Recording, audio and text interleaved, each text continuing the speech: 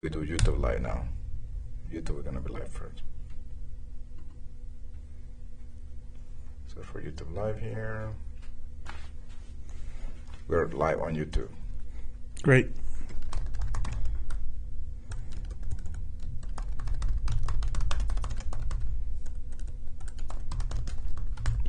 Hello, hello, hello. Good afternoon. We are here live, and and first we're here live at um, the incubator, and we will be switching over to the uh, the Facebook Live now. So we're turning this on. We're going live now on Facebook Live. Going back here. Good afternoon. Good afternoon. Now, here are with Facebook Live right now, and then we're welcome our friend and Bitcoin enthusiast Henry Incer. Thank How you. Henry? Good, good, Edwin. Yourself. Good to see you, man. My pleasure. It's a long time. Henry used to be part of the EGLA Communications team back in 2000 what? 13, 2014. 2013, 2014. That was a long time ago. And then now he's uh, doing his own thing. And he joined us today live from Boca Raton, Florida at the EGLAC Beta Incubator. We're transmitting from our radio studio, both live for um, um, just one second. I think our YouTube live went down. But we're to fix that right now. Okay, so um, we have to make a change here. I'm sorry for that. To make a few adjustments for the Facebook, for the YouTube Live to come on board again. And uh, I think YouTube Live is coming back in a few seconds. I just hope we get some likes. Yeah, right. Anyhow, so we don't really mind about the YouTube Live, but we can because we're in Facebook Live right now already. So we're going back to uh, what you see here is our is a is a directory where I have a bunch of code for cryptocurrencies, and we're going to bring here the first uh, also also the Bitcoin uh, prices of today. So let's start with that. With Yeah. So we So- see where we are. Just just just to just to showcase here. So, but uh, before we continue, Henry, uh-huh. we are going to uh, briefly introduce your background on Bitcoin, and for that, I will need your your um, your wallet help, address. your wallet address, and and your consent to to speak to the audience about Bitcoin right now. Go ahead. Okay, so sure. Well, my name is Henry Incer. I have a Master of Business Administration, and uh, you know I work as a manager for a number of um, uh, big companies. Um, and um, the reason I'm here is because uh, you know I've been in the crypto space uh, since 2013, uh, back when Bitcoin was only worth you know sixty dollars, and I feel that I knowledge that I like to share with other people uh, with regards to crypto and cryptocurrencies. Henry, let's do one thing. Why don't we go to back to 2013 here at the chart? Let's see, January 1, 2013. Uh, like around what? March 2013, maybe? Like I'll, I'll say March 2013. You're going to see the price in and around 60 $65, Okay. if I let's- remember correctly. Hold on one second. Let me just finish this thing. 13. And we put this on 13 as well to see where things. Um, so I have a rich, a little bit of like uh what we call it is um, uh, like a time machine. So we're going to go back to on time. So you see, Bitcoin in 2013 was um, basically nothing, right, compared to today. Can you? Yeah, it was can actually- you- Can you tell us a little bit of this time when when you started? Yeah, with the Bitcoin w- stuff? well, the first time I noticed that, you know, the, the price uh, was about 60 or $65, if I remember correctly. And that was back in April of 2013. And uh, I remember, you know, uh, it was you who asked me, you know, told me about Bitcoin and asked me to do some research on it uh, to see if we could, you know, accept it uh, into our cloud computing platform. I hope you remember that, right? Right, right, right. That was the reason. You're right. We were doing the Exactly. the hula drive. Correct. remember We, were doing the hula drive at the time, and so I, I did I did a little bit of research, and I thought, hmm, you know, this is interesting. Um, uh, and uh, my first thought was, you know, this is all virtual money. um, it, it's it ha- probably has no value or it's probably worthless. I can't believe that people are paying you know sixty dollars for this. And I came back and I think if, if you remember, you know, I, I told you that you know it's just a, a a very early technology and hardly anybody's using it. So chances are we're not going to be using it either. That was that was at the time, you know, I was unaware of what Bitcoin. You're the same, right? Right. So I think no, no one could expect what happened to Bitcoin today. So if you see this chart that we put on the screen, obvious that I will believe that you were describing something around April 2013. Yeah, that was that was actually that was actually uh, actually was more. Check out the fifteenth of March. What was the what was the lowest price? So we're talking about exactly about what? I mean, uh, how many years is that? Six years? I mean, five years. yeah, that right? was about five years ago. So you see here is about um, about right, right? So it was about 47. So it was like around this time. Yeah, it was probably around. Okay, so maybe So it was March it was 20. That's when right. you, you you got into. So that was probably late March. Okay, so yeah, Okay. you're probably right. Um, and at the time, you know, it was uh, sixty-five dollars. Again, I, I didn't pay much attention to it. I thought it was just, you know, um, virtual money that lived on the internet. It had no uh, practical use whatsoever. But uh, because I was very um, uh, familiar with um, you know th- you know virtual money you know such as you know World of Warcraft gold. Uh, I thought that you know perhaps Bitcoin would eventually uh, you know be useful at some point. So one of the things that I did was I kept uh, kept an eye on it. I put the um, you know Bitcoin info news and all of that on my remember RSS feeds? So um, I left it there, and once in a while I would get all this uh, news and information on Bitcoin on, on my RSS, and I kept a close look at it. And it wasn't until November or or December of 2013, uh, later that year, uh, that it really caught my attention. That was when the price, you know, skyrocketed from like about a hundred dollars to a little over a thousand dollars. You Wow. know, and I, I just couldn't believe it. I couldn't believe it. I was like, uh, you know, you know, I thought that you know can go that high so quickly and so fast. And So, then so, so, so what you're describing is a very like uh, uh, drastic change Correct. in price that uh, caught your attention, and you're like, "Whoa, what's up?" yes, and then it got even better because then I heard about what happened to Litecoin, uh, because Litecoin was a, one of those very new uh, cryptocurrencies at the time, and the Litecoin price went from I believe it was just one dollar, you know, all the way up to fifty dollars. We have in the chart right now, uh, Henry, uh, the Litecoin as well of the, I believe is uh, they showcase in this uh, particular uh, chart uh, the U.S. dollars here, and then uh, we have the Litecoin. And Right. If you go all the way to the left, you'll see what the price was. yeah, three dollars, two dollars. yeah, just three dollars. It was nothing. Yeah, and then uh, in December 2013, it went up all the way up to 50. So I said to myself, you know, uh, how is it possible that It's right here. You see, it says 30 dollars for right here. So this is around uh, 2014 when you described this. Right. It, it actually peaked at a, at a, at a high of fifty-two dollars uh, back in November or December of uh, 2013, and I said to myself, you know, if this happened once, it's going to happen again. So I better get on, onto this crypto thing. But also more, I realized that um, I had to learn what uh, crypto uh, was, what what made Bitcoin work, and that was something that I was not familiar with.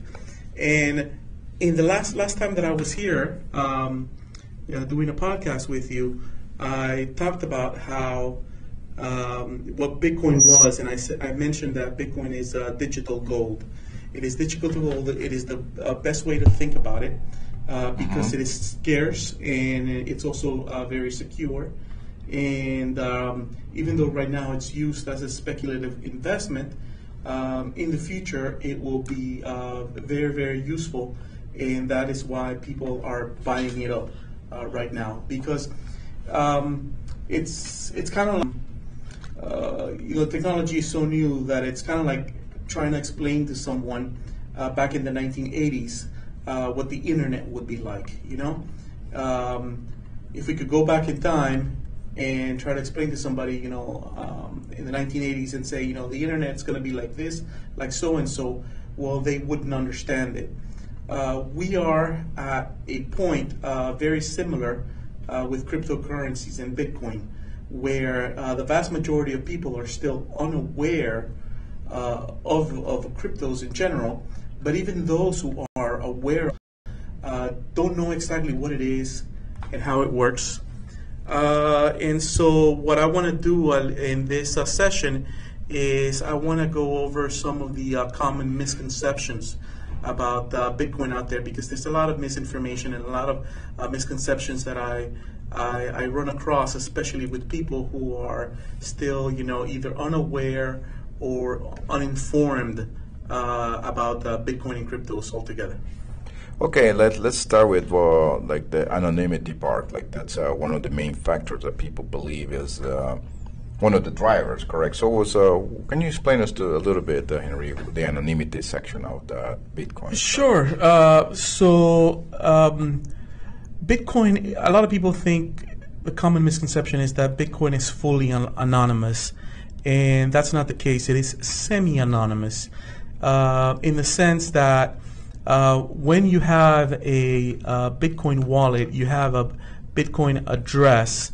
Uh, let's let's let's illustrate here, like on the screen, uh, Henry. Like uh, since we have a Facebook Live, like what will be like a Bitcoin address, let's say, for example, you're describing that right, right now. So a Bitcoin so, address is so the Bitcoin address. So there's an example right now. Can you can you right, explain so, to people in very simple terms what this means? So a Bitcoin address is a series of uh, letters and numbers, uh, which uh, computers in the Bitcoin network use uh, to identify your account, let's say, uh, for lack of a better word.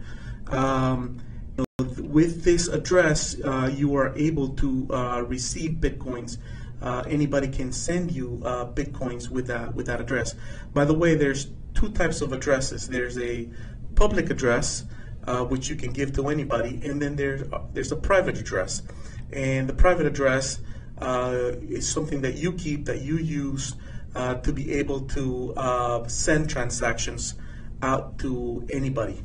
Yeah, I believe the, the private address is the one that you have to keep as much as possible as a secret because uh, once somebody get a hold of that, then you're pretty much done, right? Correct. Um, okay, perfect. So so so we, we understand now that is uh, the Bitcoin address is nothing but um, some sort of uh, uh, string of characters, right, that are, are required to, to, to identify your wallet. And uh, so, why is it not anonymous, or so why is it anonymous? The, the reason it's not anonymous is because uh, the Bitcoin network, uh, the blockchain itself, and I don't want to get too technical right now, uh, but uh, within the Bitcoin network, uh, anyone, it, it is so transparent that anyone can uh, see the transactions that are occurring and that have occurred uh, within the network. So, for example, if you send me uh, some Bitcoin, I can uh, go online and check what your Bitcoin, and I can trace back all the transactions that you have made. Correct. See, now it, it's not like a like a bank account with you know in a bank account you know with your name on it because no one knows you know, when you look at a, at a Bitcoin public address, you don't know who the person is uh, behind that address who's using it. However, you can track uh, the transactions that have happened and that will happen. And so that's why I say that uh, Bitcoin is not fully anonymous, it is only semi anonymous. Right, right. In essence, uh, what the blockchain contains is all the addresses with all the transactions tied to that address, and everyone in the network knows what happens. So that's the, the, the, beauty of the blockchain. So basically, you have a system where you have a, a, a nice uh, um, collection of, of data in a, in a big file. Well, just to, to elaborate on that, it's about 160 gigs right now, 170 yeah, gigs for the Bitcoin right now.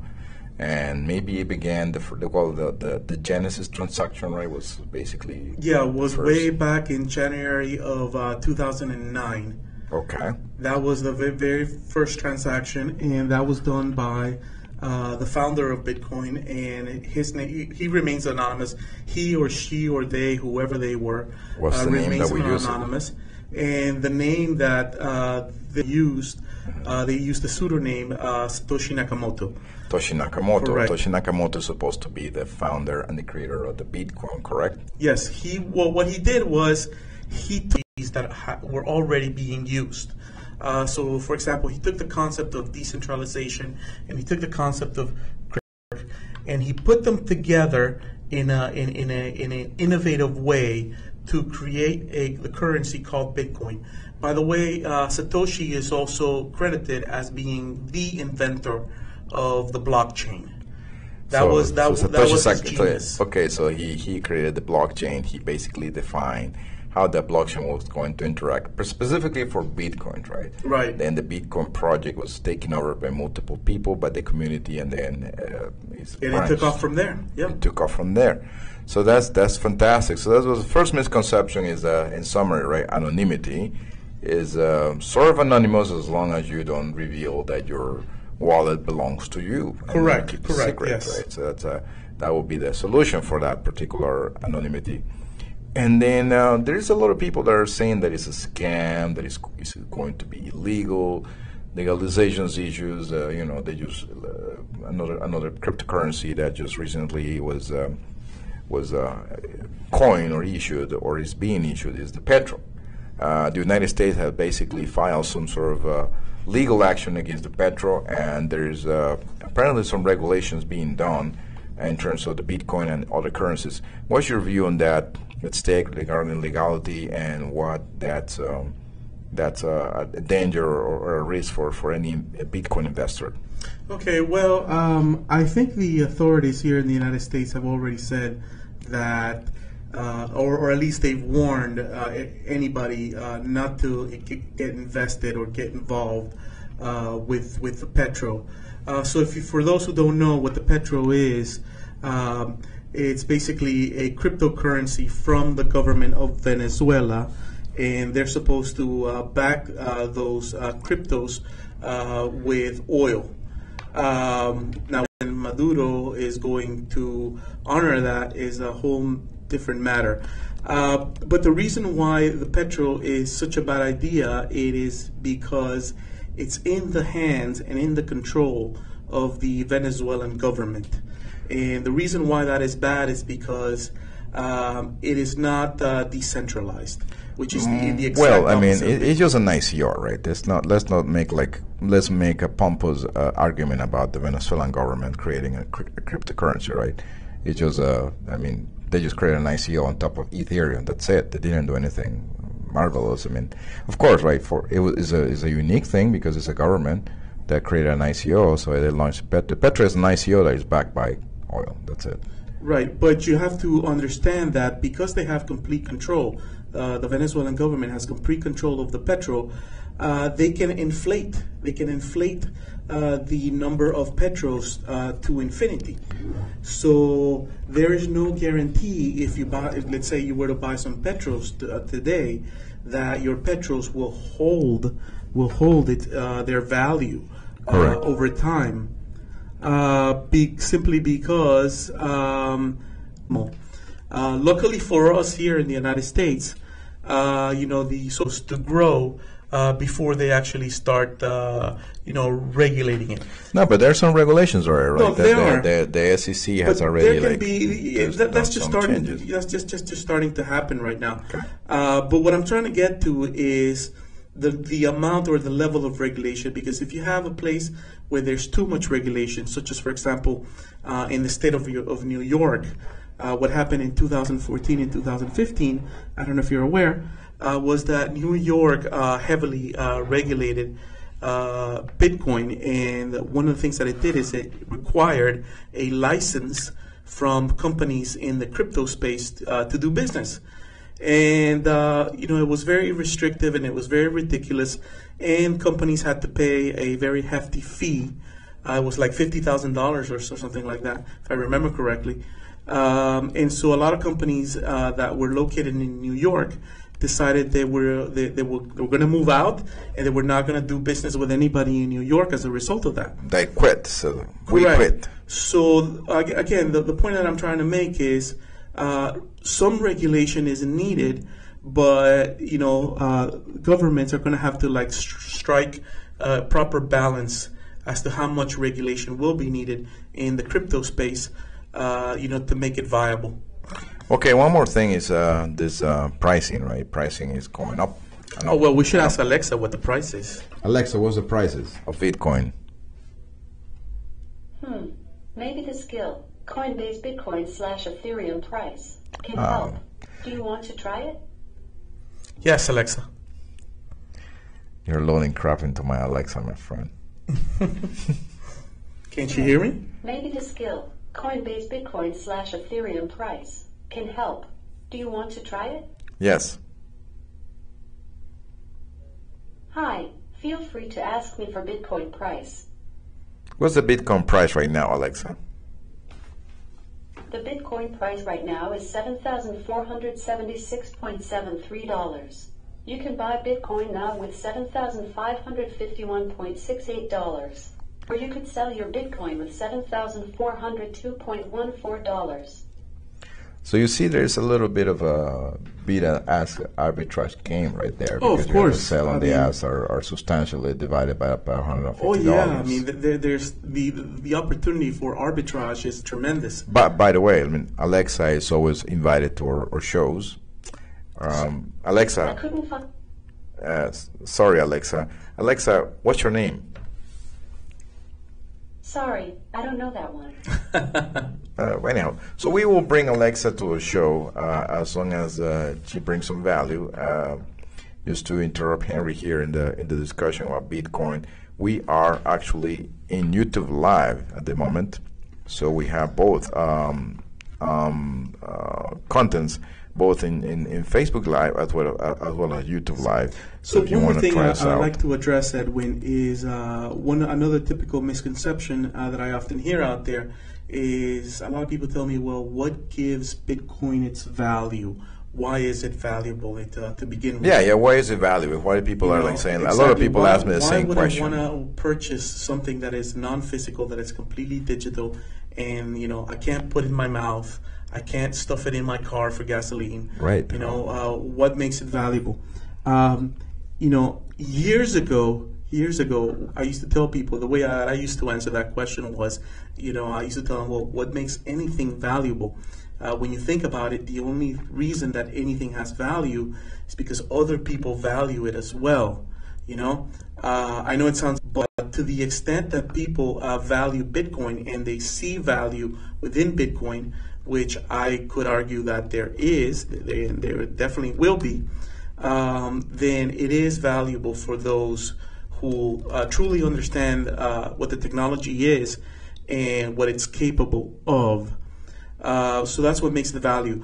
Uh, same thing for fiat. Um, with fiat, it's only as valuable as people make it to be, make it to be. Uh, although the government, of course, forces people to, you know, uh, use their fiat currencies. Um, but you know, the same thing could be said of gold. You know, the, the value of gold is out there on the market, and uh, people collectively uh, decide what the value of gold is. I have, I have actually. um, Uh, sorry to interrupt you, Henry, but I have put something on the screen right here that I want you to comment on. Sure. And it's uh, Alan Greenspan.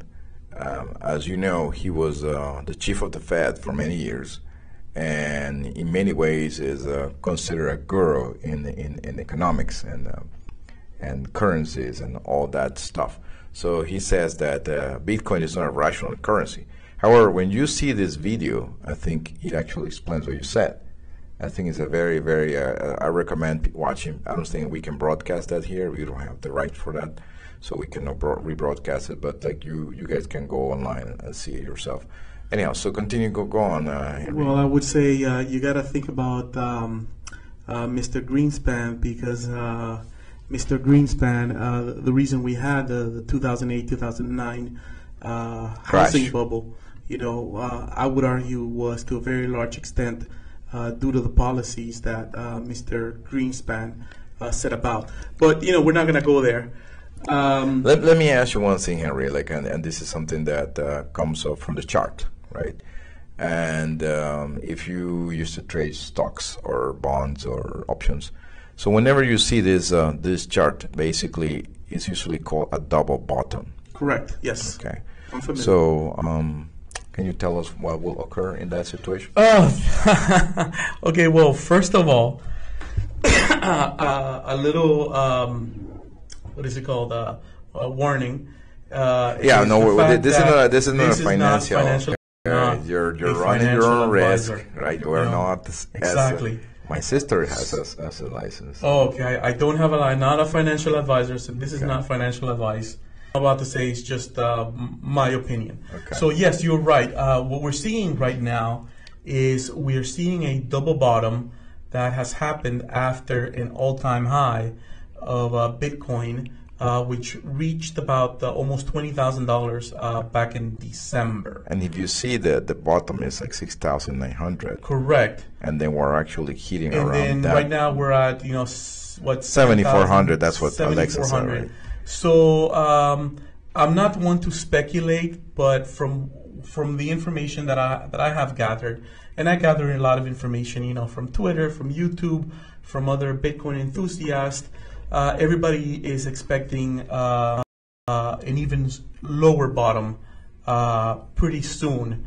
Um, the you would expect it to go lower than that. yeah, the consensus saying. seems to be about six thousand. Six thousand. Yeah, six thousand. We're gonna go down to six So we're gonna hit basically the, the, the there's okay, and once again we're not doing stock analysis here, and we don't want to apply. But if you see here in the chart, around the six thousand dollars price, there was a period of time of about um, close to six months. If you see this area, Yep, I see it.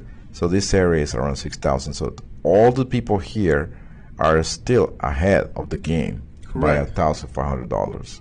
So if all the people that purchase a 6,000 hit, see that the people that had the coins here sell off and they hit 6,000, it may they may actually think about selling too.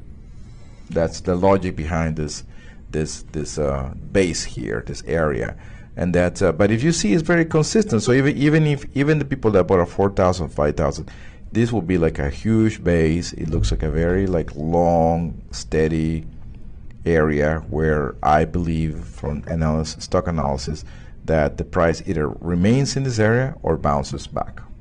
That's Okay. that's a big I, prediction. you know, well, I'm gonna say even if it drops below, even if it drops below uh, six thousand, there's still a lot of support uh, even before you get to five thousand. So um, again, my speculation is we will probably bounce in and around that area between five and six thousand. right. Uh, so, so now, that's possible. where will we go from there is anybody's guess. Uh, but I really feel that there is so much innovation uh, and so much uh, services that are, are being built in the crypto space. Uh, and there is still a very, very huge demand for Bitcoin and other cryptocurrencies. But just, just just to speculate a little bit, right? Whenever it's a double bottom in the stock market, Mhm. they call it the bo- double bottom reversal, yeah, it could and be they and, they, reversal, and it has and it has happened in many stocks. If you see example here on the screen, right, if you see them, they're like double bottom examples. correct, Basically, we are we believe we're hitting this area right, where the double bottom is on that on the Bitcoin chart. So uh, we can speculate, like again, this is pure speculation that uh, once he hit this this area, this range, if he if he breaks the, the support level, then okay, we are we're wrong. But if he doesn't, if he holds the, the price, it's a high chance, or or or or, or from from prior uh, behaviors on pricing on different stocks that this will be a reversal and it will actually be so it's something to study it's something to analyze it's uh, something to study here Right. from the stock market patterns So but- everybody uh, right now is watching the price because it, it is dropping, and like you said, if, if it drops to a certain uh, in, in, in, in, in, in further trouble, right? With the price could be in further trouble. But if it bounces from there, then there's a good chance that uh, we could recover. The price could eventually uh, recover from that Correct. point. all right so one more thing here that uh, is um, is kind of interesting is uh, is about like the bubble thing Right. Okay. So we see bubbles, and then we can. Let me just bring some bubbles on the screen so you guys can see an example of a bubble, and then you can. Uh, so we're not making things up here in the in our incubator. By the way, we're we're live from the Eglavator uh, incubator. We're in this radio and TV studio uh, uh, in this area right now, and then Henry has uh, come from Miami, right? You Right. in Hialeah? No, where's the, the, I live next to uh, Dolphin Mall. you were not near the bridge, right? Uh, actually, the bridge was just like five minutes away from my house. I'm glad you were not near that bridge, man. I was very fortunate that neither myself nor anybody that I know was anywhere near that bridge. That was a very unfortunate situation for the university, uh, Florida International University, because uh, they showcased that bridge in very, very um, like pompous way, right? They were very pompous about it. They Yeah, they very much making, so. And unfortunately, that that uh, that happened. So anyhow, so let's see. like, Uh, here is uh, uh, Wikipedia, right? And then they describe what a stock market bubble is, and if you can see this I chart. think I think we should ask Alexa whether um, Bitcoin is in a, in a bubble or not. Alexa, is Bitcoin in a bubble? Sorry, I don't know that. Um, She doesn't yeah. know. Uh, if, he, if Alexa doesn't know, we don't know. I guess that's, That's a fair that's, answer. That's a that's Sorry, a very I don't know that. Yeah. He doesn't even know that. I don't know that. All right, so so so like, like just to, to showcase right like different bubbles here, uh, and then wha- how they compare to to the to the Bitcoin. So I mean, we're pulling here some uh, stock market bubble definition from Wikipedia, and the stock market bubble is is an economic bubble um, taking place in the stock markets or financial markets when market participants drive stock prices above the value in relation to some other systems, also valuation. So, so is this happening right now to Bitcoin at seven You know, that's a, that's a very good question, and again, it goes back to the misconceptions that I get. Uh, one of the um, uh, reasons why a lot of people uh, does recuperate, uh, they can see some uh, gains in profit. Okay, that's a personal Henry Incer recommendation. Uh, I want to uh, thank one of our sponsors. Uh, this is the World Wildlife Foundation. Um, they actually are a nonprofit organization that is uh, trying to save uh, animals and pets, especially animals in extinction, like the white tiger, Correct. which is almost already extinct. You can check it out online yourself. But this is a regular tiger, and it came to um, my attention uh, a few days ago that tigers are being raised in Florida and many other places in uh, the United States for only one reason. Do you know what reason is? No, but I mean, they got to be um, conservation efforts. Then? No, it's used to take a selfie, and then they kill the tiger. No way. Wow. Unfortunately, that's what's happening in the United States. It is completely legal, so there's a, it's a very sad situation. But at the same time, they kill the animals in Africa. Right. I guess that uh, if we just export those uh, cubs to Africa and then put them in their wildlife, maybe that could help. Uh, so, but for there's a there's a situation with animals. Anyhow, the Well, World the World know, Wildlife actually, Foundation that's actually uh, one of the things. elephants and elephants, rhinos, and tigers are being saved by the by this foundation. Just to so you have a bunch of bitcoins that you don't want, you can just donate it to them. no, what you can do is if you if you really believe in that cause, you can actually uh, create a coin, right, and have an ICO. Oh, that's a and that idea. coin will be. Uh, the purpose of that coin will be, you know, an animal To conservation to fund animal conservation, so that people who really believe in that cause uh, could help the matter. There's so the thing is, there's so many uses uh, for cryptocurrencies and the blockchain uh, out there that we are just beginning to discover. You know, Right. and so that that could be uh, one of them.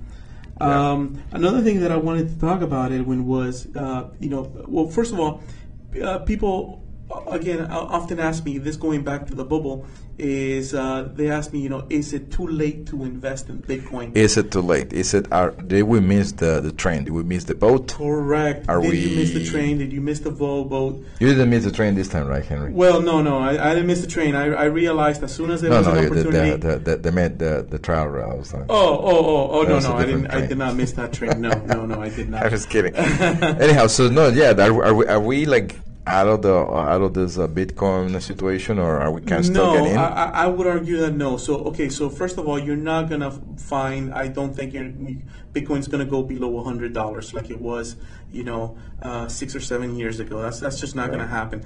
But you're we're still in the very early phases of uh, Bitcoin and cryptocurrencies.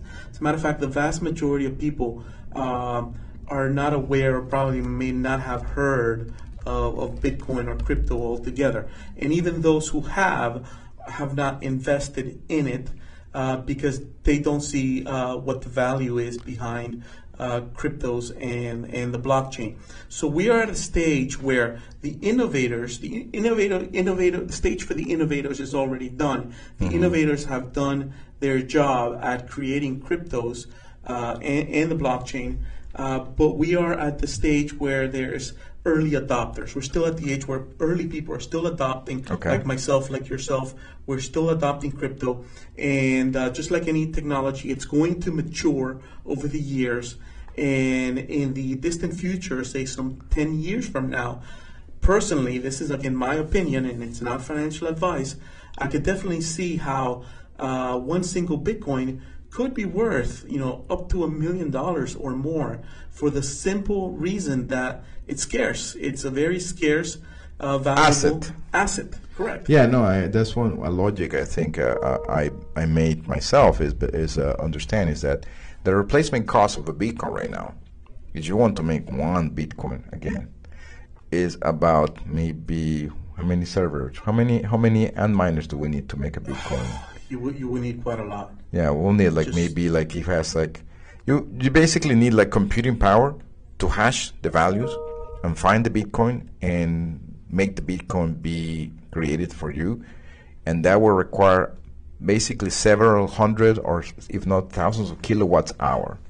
So 1,000 or let's say let's say you spend 10,000 kilowatts hour to find a Bitcoin and you're lucky you find it, then that represents about $1,500 already. Uh, yes, it's like 15 cents per, per, per, per kilowatt hour in a very cheap location, if I not believe more. so. I believe so. And yes. that's without considering the cost of the AC. That's without considering the cost of the miner. That's not internet. Uh, the Right. power. Anyhow, everything else. That is so why- You, s- so so if you have one miner doing that, Mm-hmm. and maybe you have 10 miners, as the difficulty increases, then the cost is just going to increase. Yeah, and, and what we could do is, uh, again, for those viewers who are not familiar with this, uh, we could talk about mining. Uh, I, I, I, our I, another I, I podcast. think the value of again, what was that, that website you mentioned to me once about the calculator, the Bitcoin calculator? Oh boy. Uh, No, no, no. I, I, trying to fi- I, remember. I'll, I'll Google it. can't So we're gonna use Google Bitcoin calculator. Try Bitcoin mining calculator. Okay. So we're going to try to to make a, a, a an educated guess, right, of why the Bitcoin price should go Yeah, that's it. higher. That's the one. So let's say that uh, we have a computing power of, uh, let's say, an Antminer. So Antminer s- S7, right? Uh, S9. S9, okay. Yes. Uh, mega hash. So mega hash is the number of hashes per second that an Antminer, this device here, with this cooling fan here, can actually make. So according to the Bitcoin Wikipedia, the S9, which is one of the more advanced devices, can do 14,000, right? Uh, 14 million. 14 million Mega hashes per mega second. per second. Correct. So 14 million.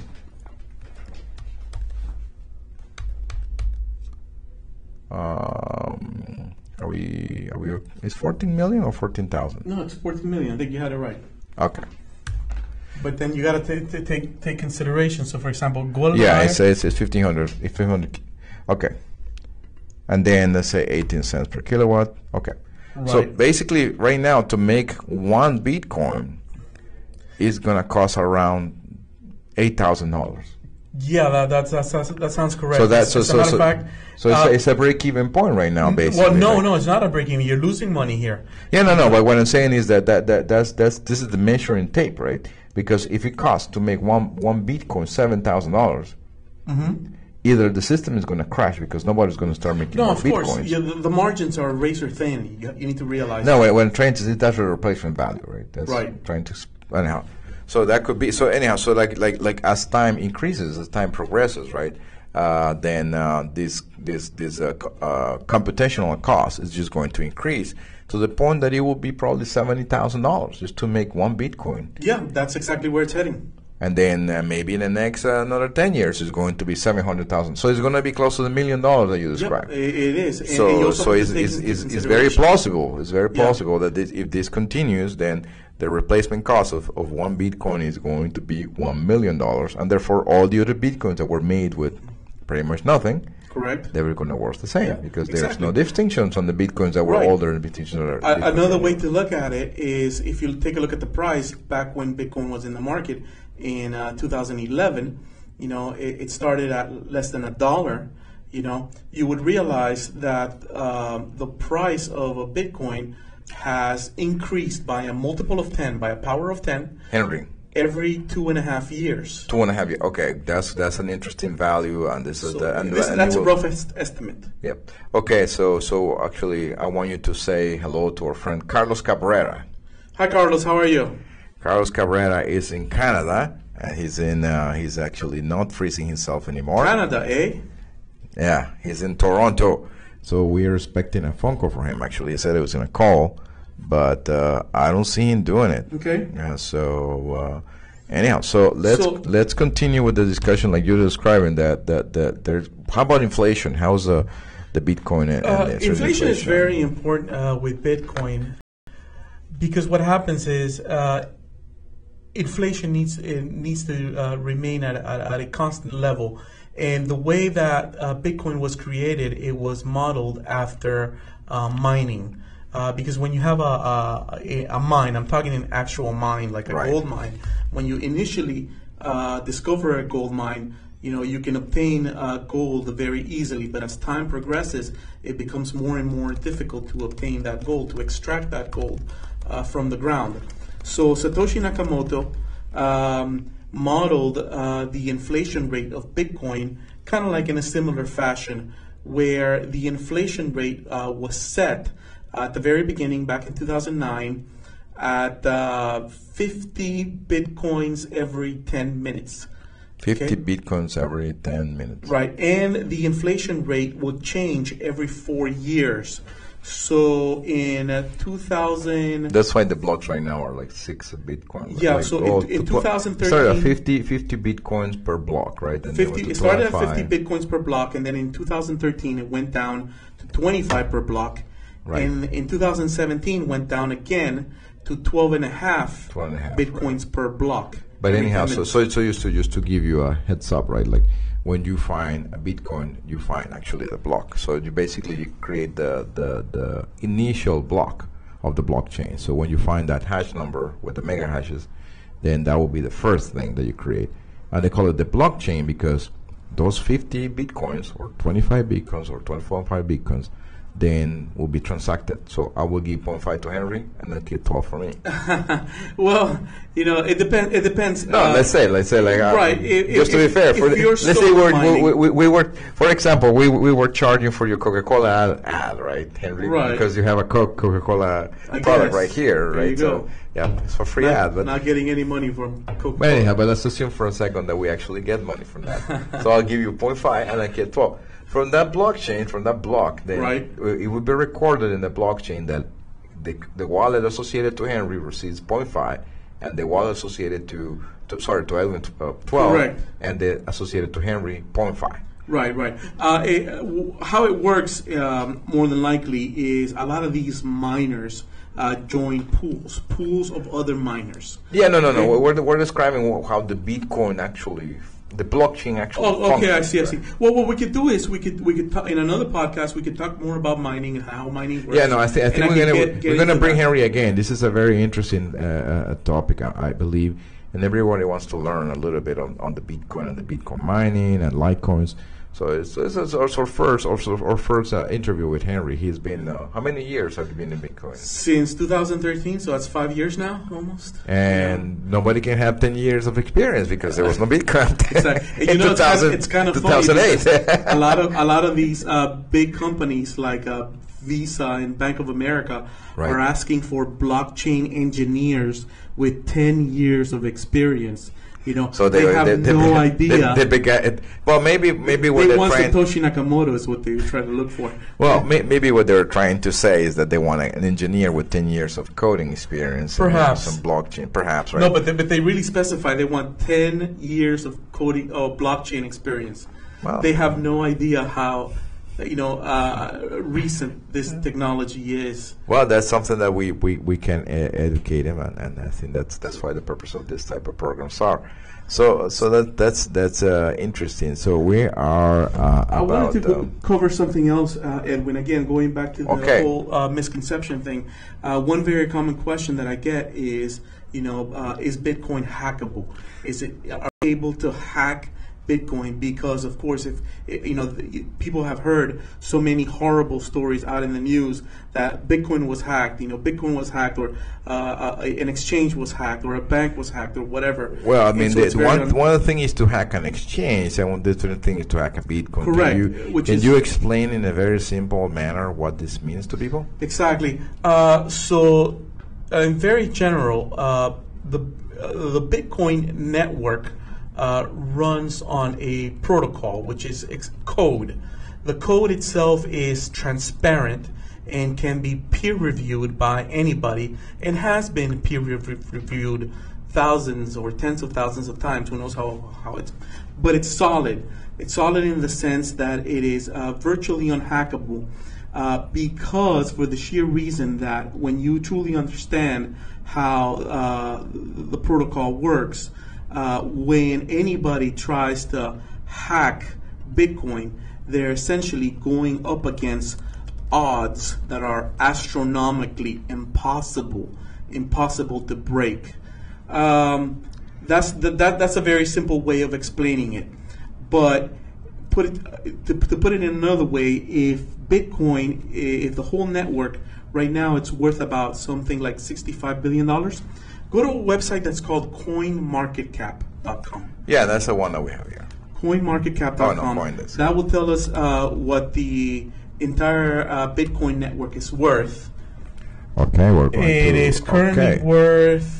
Um, look at the market cap: 127 billion dollars. Do you see down there Yeah. next to Bitcoin? 127 billion dollars. That's how much the market cap is. That's a if, little if bit. there's any hacker out there that can break into Bitcoin and totally destroy 127 billion dollars worth of of market value, they Right. would. No, They but would. but, but let, let, let, let's let's go back to the found, foundation, right? Well, why is it unhackable? I think that the foundation bit comes from the from the plain same protocol, the same algorithm that is being used for your bank account. When you connect to an SSL, like HTTPS, for example, you go to https.gmail.com, and they'll tell you the secure link, and then you have the secure thing over here, right? So Well- the, the algorithm. Oh, that's um, sorry. I don't want you to see my emails. well, um, but- the the uh, the addresses themselves. No, no, no, no. But but but the the the product the, the, the algorithm that are used to create the pro public and private ch- uh, um, uh, keys is exactly the same algorithm that is being Yes, used yes. for the the PKCS or, or the public key uh, system that is being used for your bank account, Yes. for your credit card, which is uh, for- SHA-256. for everything. I mean, no, no. The chassis is the, is the, is the, is the, is the actual hash. That's, that's, that's different. Oh, I see, okay. But it's but it's the, the same thing. It's a, it's a combination, right? Like when you go to your bank account and you go to your SSL certificate. Mm-hmm. When you when you have that, there's a private key that is stored at a location managed by Network Solutions or Right. by GoDaddy or by a big company like that. They store the certificate, private key information, in a very very secure way. Then what you see is the public key, and when, it, when you connect to the website, then that public key is the one that validates that you have a valid certificate on that website. That's the same technology that is being used by Bitcoin to sign and to create the public keys and the private keys. So it's exactly the same. So for, for somebody to hack it, it will be easier to hack. the- And not the- only that, that, that, that has to yeah. do with my understanding. Again, I, I'm not a, uh, a Bitcoin coder, Mm-hmm. uh, and I'm not gonna say that I understand or know everything. Oh, we, the the the the, But the, I the, know- the live video went dead because it only lasts one hour. So oh, yeah, so we will have to restart. Okay, hold on. End broadcast. Done.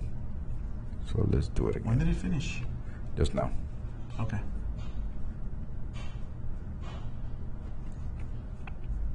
Okay. Create the live stream. Bitcoin.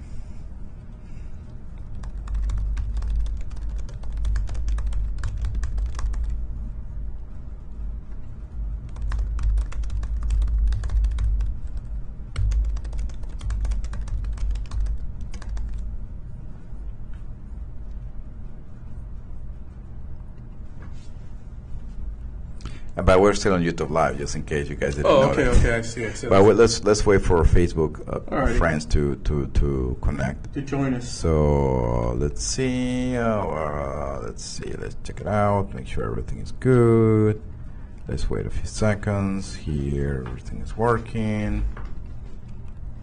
And uh, let's go back to this live thing. Okay, we're going live. Take a seconds. Okay, we're going live now again. So just let me introduce a little bit. This is the second part of the video series with an interview with Henry Incer, or uh, or guest here, a speaker at the Iglabator Studios, and we are discussing uh, Bitcoin misconceptions and Bitcoin in general. And uh, he's been about five, six years working on this very successfully. He has uh, invested in Bitcoin when it was only sixty dollars, around that. So he's been very, very uh, successful, and he kept kept himself up to speed with everything related to Bitcoins. So Henry, just to elaborate a little bit more. So what was your? We were discussing just to, to Yeah, if we you want to see the previous video in the in the last uh, 10, 15 minutes, we were discussing about because, Uh, uh, the public security. and Yeah, the we were security. talking about the why, security it's, why it's not hackable uh, the Bitcoin right now. Yeah, we're talking about how you know common misconception, and and we've we've talked about several already uh, in the first section. Uh, but in this section, um, you know, what we were talking about was uh, whether or not uh, Bitcoin can be hacked, uh, because one of the common misconceptions is that you know uh, people often hear out in the news that Bitcoin was somehow hacked, and so uh, people are, are very hesitant to uh, invest in Bitcoin when they know that uh, it's they, they feel that it's not secure. And what I'm trying to get across is that uh, the Bitcoin protocol itself, which is the code itself, is virtually unhackable for the reason that it is protected by uh, cryptography, like we were talking about uh, public keys and private keys. Okay, um, but oh, another thing that I wanted to talk to you about Edwin is the consensus algorithm, uh, which is is what what's used for uh, miners to come together and uh, decide which transactions are authentic, uh, real, and which are not. Correct. Uh, but in order to do that, uh, what it is is you need at least uh, fifty percent of the um, network to come to consensus and decide that whether or not uh, the block that you hashed is a valid block, whether the transactions within that block uh, are valid. Because if they're not, then that block will get rejected. Correct. So, so, so if you see the code from the Bitcoin uh, code base, basically uh, all the miners, not only the miners, but also the nodes. The because nodes, There's a yes, difference the between miners and the nodes, The yes. miners are mining, the nodes are just nodes. I have two nodes here, but I don't mind. So, uh, so the node received the, tr- the, the, the, blockchain that has been updated. Somebody said, okay, I gave 0.2 Bitcoin to Henry, and Henry sent 0.1 Bitcoin to Hector or whatever. So th- that data is being updated. So the transaction is being sent to all those those nodes. So there is a consensus mechanism that n amount of nodes needs to be agreeable to that uh, uh, same transaction. So they will validate it. They will all compute the same uh, hash. They will compute the same thing. They Correct. will validate that. And then, um, in case, let's say, for whatever reason, there's the network breaks apart or whatever, It- the longest The the longest, longest chain remains. Correct. In case there's any cheaters out there, anybody who case wants cheaters, cheat. right. Like for example, you decide to cheat, and then uh, you tell the network that your node, even though it has no bitcoins, all of a sudden you give yourself, you know, a thousand bitcoins. All right. So how is the how are the nodes uh, within the network going to decide whether those uh, thousand bitcoins are valid or not. Correct. They're going to look at your transaction history. They're going to say, well, where where is the work that proves that validates that all these transactions have happened? If you don't have that. Uh, in, in, in, in the nodes coming to consensus that you have uh, cheated, then your block or the block that you're working on, the block that you're hashing, uh, gets uh, rejected. And my understanding is that as well. Well, I mean, the the the, the according to the depends on how the the Bitcoin D or the, the, the miners are doing that, but uh, yeah, eh, the the thing is that the, for example, right here, the latest blocks is, is this is known information. Correct. So it is transparent. Yes. It's totally transparent. So you can see, for example, that uh, there's 51, 515,000. uh, The no, that- that's the that's the block number. that's the block number. That's the right? block number, So yes. there's 515,000 blocks in the in the in the current blockchain, right? Correct, yes. And then um, You can see the number of transactions within that block. transactions, uh, transac- 1,195 transactions. Right. So The then you can be back here, for example, you can see these different charts. Uh, what is not updating here? So let's see. Okay, now. So let's see. Let's let's look a refresh here. And then when, let's say we go to this block, right, just to see. It was six minutes ago. So it was Correct. created six minutes ago. Yep. So basically, It gives you all the information about the block. The block, right? So it's the, the main chain. Right. So the, the chain, this You is the, the hash, hash, yes. This is the hash number, and then it, it, it- changed to the previous hash. So there's no way to cheat because now, No, okay, how do you? This one is the previous one. That so is a very good point. So you have to connect it to the every- previous one. Every new block, it's it's attached by a uh, uh, by the hash of the previous block, right, and not only that, that all this, the way back is, to the Genesis block. yeah. So this is the main block, right? And that and that validation is going to happen in all the nodes from the. So what usually happens is that when you have your private key is stored on a server and you trust uh, an exchange or someone else, like let's not say name, but let's say Coinbase, and then you trust them with your private key. That's when the risk starts. Right. th- th- th- that's a very that's good when point. it, that's when you can get hacked Because- because em- if I'm an employee of that company and I'm a disgruntled employee and I and I was kicked out and I still have access over VPN or something or I know there is a bug in the code that basically I can access to that private key, it's game over. Right. So, so what we're trying to get at is, is the code itself, the protocol itself. The is protocol is, is solid, yeah. But there are services and exchanges that are built in around the, the code itself, and those uh, services or exchanges can fail. Such as such as uh, there was a very famous case of, uh, of an exchange called Mount Gox. Right. Um, and what happened with Mount Gox was uh, Mount Gox got hacked, and a lot of people believe it, it was uh, an inside job. Uh, Yeah, a lot, of, a lot of people believe it's the same. They're, they're, they they, they, they even sue the same people, the same the owners. Right. Because uh, in a way you have them as a as a as a trustee, so you trust Correct. the the the, the, the, the this exchange with your key. So Correct. so the best way to do this, in case you really want to do this, is to just build your own uh, uh, server. To, it's, it's to have build your own node, have your your, own own, wallet. have your own wallet there, The lesson here is that you never want to leave your coins on the exchange. Never, never. That that's a huge risk because they have access to, and whoever has your private key, basically Controls the has coins. control the coin. It's like the they call it the in, in the in the in, in in Florida, right? When you have a car, Right. whoever has the title Yeah. has the car. Correct. So you don't want the title to be with Right. anybody else's hand because And they, so they the same thing goes for crypto. If you don't own the private keys, you really don't own the coins. right. You know.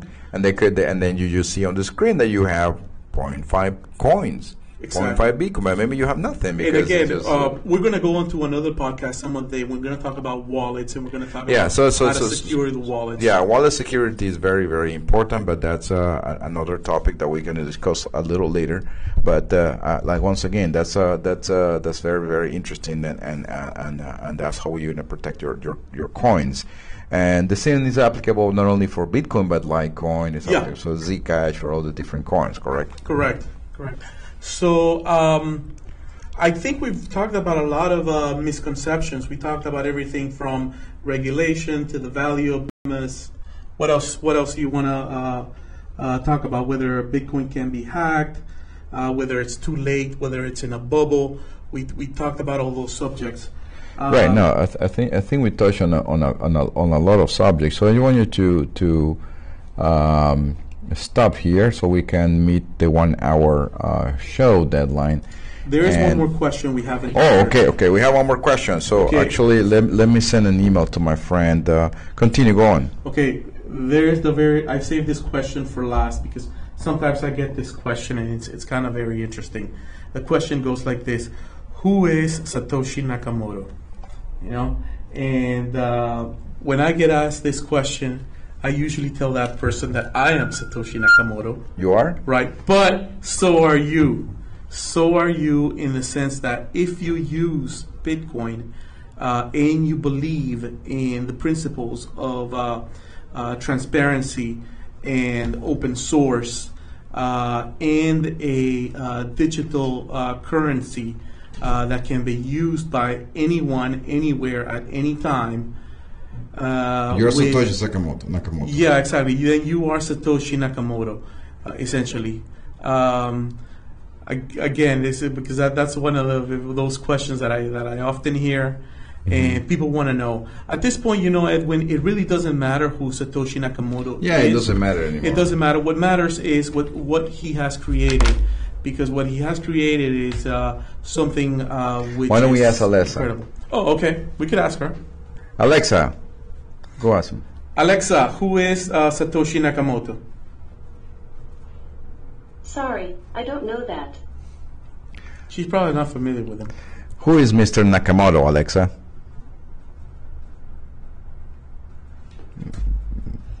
She doesn't know. Alexa, who who is Satoshi Nakamoto? Morrow is a city in Clayton County, Georgia. No, that's not the right. States. Alexa, stop. Anyhow, so uh, we were trying to contact our friend uh, Ca- Carlos Cabrera. He is also another like Bitcoin enthusiast. Uh, do we have a chat room with questions uh, Um, on Facebook? I don't see any chat room questions right now. do Let we have any right likes? now. Um, yes, we have some likes. All right, that's what I wanted to hear. We have some likes, Henry. Don't worry about it. We're not Great. exactly talking to ourselves. We, we, are, we, are, we are working hard for likes. We're, we don't have a, a, a loop back here, and then we just talk to each other for two hours. uh, um, there's no one watching on on. Um, let's see, uh, where are the likes here? I don't see the likes. Mr. Fabian, how are you doing, Fabian? Uh, thank you for joining.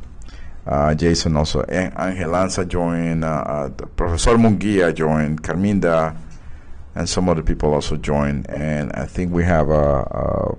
I was expecting Carlos Cabrera to join, but he, he hasn't joined yet.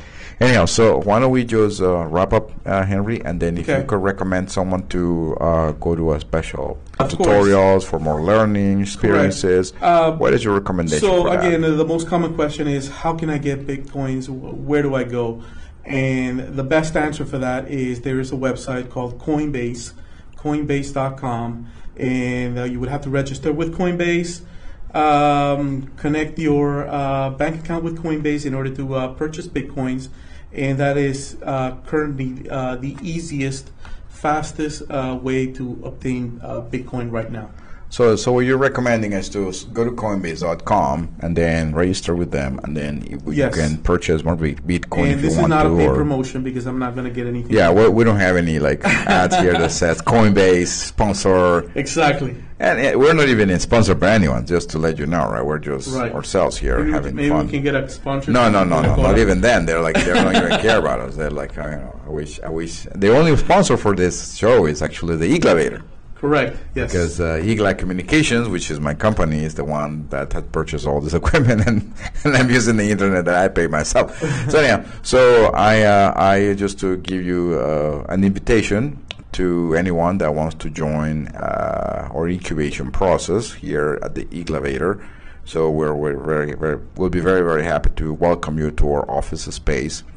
Uh, we have also a green room facility. So yesterday we had a nice uh, recording. Uh, uh, let me just show you that on on the screen. Uh, we are in the studio here, and then we broadcast on Instagram. Um, a little bit of that. Oh, that's some of my friends there. And then you see here, so we have some very cool uh, showing here. So we're, we're broadcasting in 4K. We've been having so many problems with the 4K cameras and the non 4K cameras with HDMI. We're fixing all those issues right now. But uh, this is something that it was taken from uh, this. Uh, that's our, our, audio engineer. That's Brent Besser, and we were uh, recording him for a special uh, video that he will do for his own application. Uh, that he's one of our tenants here at the incubator. That's it. So you want to see some other pictures here. So we have professional uh, audio equipment so to make your voice sounds perfect. I hope this uh, broadcast has very good voice. what do yes, you think? It yes, it does. Okay, perfect, perfect. So we have a we sound like a radio station. Not to think that we're not, but uh, we are beginners here. We're amateurs. We've never done this before. It's the very first time that we ever do this, so it's uh, it's always a challenge. So and then uh, these are the equipment we have. We have purchased uh, soundproof uh, uh, foam, so that enables or blocks the audio from creating echo, just like this room over here and it's been very discreetly positioned around the, the room. So we have a, a nice table, we have uh, Alexa as well, and these are the pictures of our um, editing room with a cloud computing platform that is actually doing the broadcast on YouTube. Sorry, um, I don't know that one. Alexa is always trying to uh, get involved. Interrupt. interrupt. So it's just, an, it's just an interrupt. So, and then this Has is. Has she ever laughed at you? You know, did you no, hear about that? No, no, no. Uh, some Alexa units are laughing randomly at people. I heard that. I heard that. Yeah. So this is studio where we are right now, sitting in this, this moment, and uh, we were very happy to to have you here on board of the of our incubator.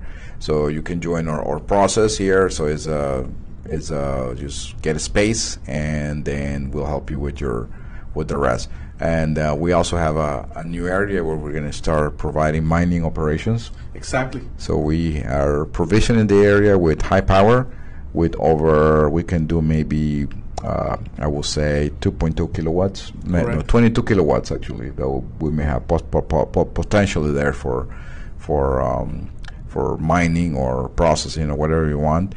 And hey, look, Ripple, by the way. And we're going to have podcasts If, if you see, uh, mm-hmm. Ripple is number three Wow. With with all the the the the the, the downturn on the on the other coin now, Ripple is number three. Wow. Uh, yeah. Um, one day we're also going to talk go through each uh, altcoin, and I'm going to tell you what I think about each one of those. Okay, so perfect, Henry. Thank you very much for joining us. My, my and, pleasure, uh, Edwin, and I will and, definitely uh, be just back. let's uh, let's wrap up and uh, and Sonju's last or your or your last closing closing remarks. So there's a lot more uh, that's involved uh, that I, that, I, can talk about in the crypto space. Um, if anybody wants to uh, leave any questions, I'll be happy to answer them later. If you just put your questions and I will be more than happy to come back at a later date and we can about we can talk about it when some other topics, you know, such as uh, mining, such as uh, how to secure wallets. Uh, and we can always talk about uh, the price and the market uh, in crypto. Yeah, I like. I like maybe next time you can bring your your your some mining. Maybe you can do like a showcase uh, in the other room how to like build your own mining rig, for example, or things like that. That will be that will be very interesting show for our audience. I'm pretty sure they will be interested in that part too. Sure. All right. Thank you very much, everyone. Have a great day. Have a great uh, uh, Thursday. We were we know that in Latin America today is um, uh, so we have. Uh, we were broadcasting here uh, also uh, Holy Third. So we were watching the Pope a few minutes ago uh, on uh, Mass um, Thursday. So we have we have Pope Francis, and then maybe we can broadcast that. This is from two years ago. We're watching the the the one from today, and uh, we heard the broadcast in Italian, if I remember correctly. And uh, so today, celebrating uh, um, the the Lord's Supper, right? So today is uh, God, uh, Jesus had the Last Supper with the with the disciples, and that's what it's been celebrating today. And tomorrow is Good Friday, where where Jesus is uh, crucified. And if you are celebrating, I hope you enjoyed this weekend with your family or Easter. And thank you very much for joining us. We'll be back uh, with more interviews and more people very soon. Thank you again. Bye bye.